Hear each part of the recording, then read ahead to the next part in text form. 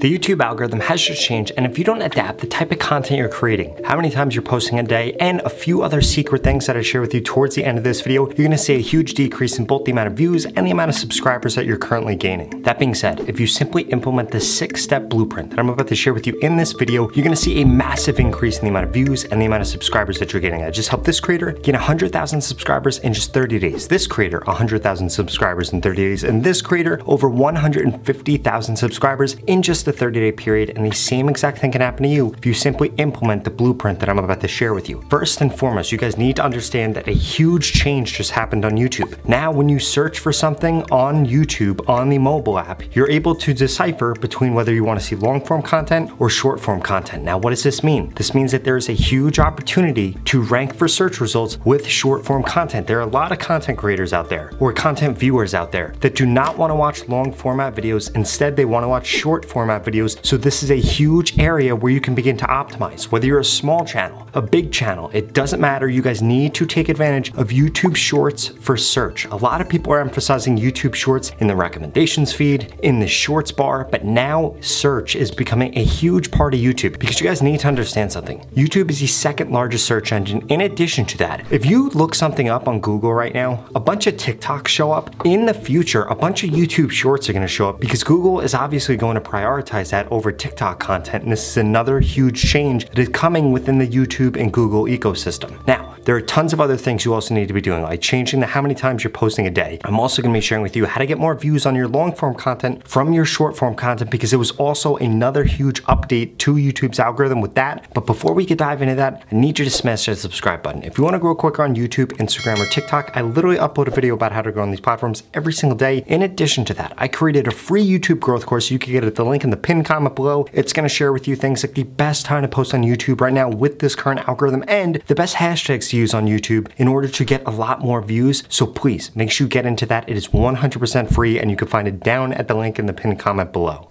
The second huge change that happened is you can now clip long form piece of content on YouTube to create shorts. Now there are a ton of really cool things that you could do with this. First and foremost, when you clip something, the video that you're uploading as a short has to be 60 seconds long, but you can include five seconds from your video, 10 seconds from your video, 15 seconds from your video, and then record the rest of the short on your camera. You'll still be able to edit it the same way that you can edit a short, and then at the end of the short, it's going to link to that long form piece of content. What does this mean? This means that you should be creating shorts content on the things that you did with long form content. And if you are doing two different types of content between your long form content and your shorts content, that's why you're not seeing the views go back and forth. A lot of creators right now, they'll comment below, they'll say things like, Rob, I got a ton of subscribers, a ton of views on shorts, but nobody's viewing my long form content. And then I go and look at the actual long form content they're creating, and it has absolutely nothing to do with their shorts. If you're going to create a YouTube channel, you need to niche down. You need to make sure that whatever you're creating shorts content about, it's the same thing for long form. Whatever you're creating long form content about. It's the same thing for shorts. This it's what's going to allow you to monetize the most on YouTube and it's going to allow you to grow the most on YouTube. Now, there are three other things that we need to cover with this current YouTube algorithm and these last three things that I'm about to share with you are by far the most important. These are the things that if you get them right are going to allow you to grow quicker and if you don't get them right, it's going to be the difference between you staying a small channel forever or you being able to take advantage of this moment in time where it is easier than ever before to grow on YouTube. You heard that right. As a small channel right now on YouTube or as a large channel, it is easier to grow than it ever has been before if you simply implement the three things that I'm about to share with you next.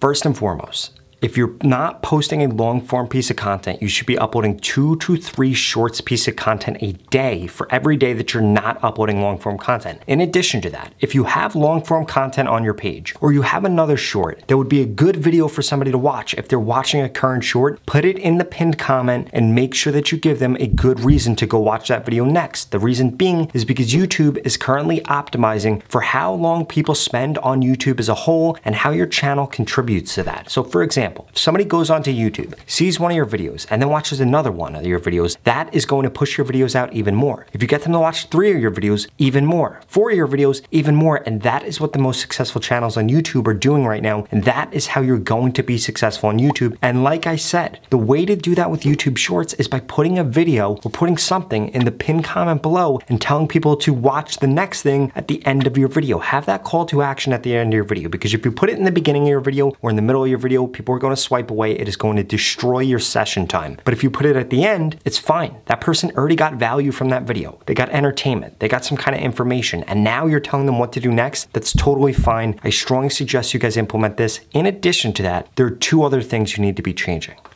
And those two things that you need to be changing come down to the titles that you're choosing, the thumbnail that you're choosing, which ultimately is going to affect your click-through rate and your average view duration. And then the third thing is your average view duration. We need to talk about average view duration. If you're posting on YouTube Shorts less than 30 seconds, you need to aim for 100%. If you're posting on YouTube Shorts 31 to 60 seconds, you need to be aiming for 80%. If you're posting long form content, in the first 60 seconds of your video, you need at least 70% of people still watching. Ideally, you should be getting at least 50% watch time on your long form piece of content. If it's an 8 minute video, a 10 minute video, be aiming for 50%. If it's a 2 minute video, a 3 minute video, it needs to be even higher. We're talking 70% throughout the whole entire video. But the key thing that you should be optimizing towards is 70% in the first 60 seconds for long form content. And like I said, with the short form content, under 30 seconds, 100%, over 30 seconds, 80%. If you guys focus on that kind of watch time, you will increase the amount of views that you get because ultimately, the only thing that YouTube cares about is keeping people on the platform. If you're a small channel and can keep people on the platform, if you're a large channel and can keep people on the platform, if you're a new creator and can keep people on the platform, well then guess what?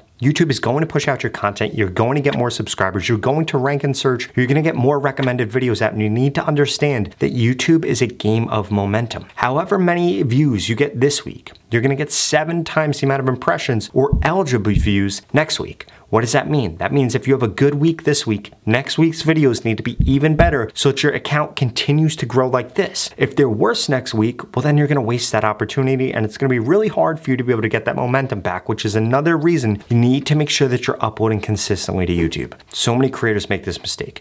Big creators make this mistake, small creators make this mistake. Let me give you an example. I went on vacation. This was about three months ago. And I told my editor, I said, hey, we don't have to upload a video tomorrow. We're gonna be traveling. It's no big deal. Normally, I upload a video Monday to Friday. I've literally been doing that for years. Decided to take one day off. It destroyed the amount of views. It destroyed the amount of subscribers that I gained for the next three months. It took me that long to get that momentum back. So please, when you have momentum on YouTube, do not take it for granted. That is the time that you need to double down. It might have been a title that worked. It might have been a topic that worked. Whatever it is, you need to be doubling down on that because ultimately, that's what's going to make you successful successful on YouTube. Now, if you've never had some kind of advantage, never gotten any momentum, or you haven't been able to capitalize on it, I wanna help you grow on YouTube and I wanna guarantee that I can help you get more subscribers the same way that you saw the three examples in the beginning of this video. Each of them gained 100,000 subscribers in just 30 days, literally got a YouTube plaque in 30 days. I wanna help you do the same exact thing. I wanna tell you exactly what to post, when to post, what topics to use, how to critique your content to guarantee that you get more subscribers on YouTube. If that sounds interesting, then keep watching this video.